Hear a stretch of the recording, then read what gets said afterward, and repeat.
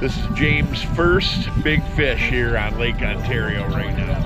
Oh my God! Right down.